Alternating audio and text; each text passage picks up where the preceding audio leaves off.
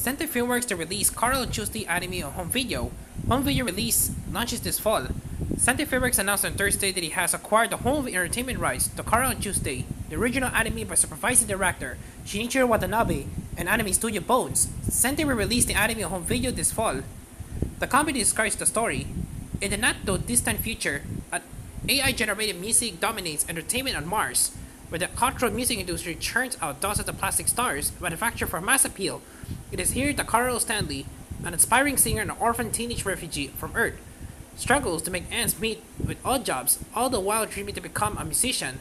The dreams suddenly come closer, comes closer to reality when she meets fellow teen Tuesday Simon, Tuesday Simmons, who is also a wannabe musician. Tuesday has her own set of problems, but the troubles fade away when they band together to write music the old-fashioned way in defiance of AI-generated convention.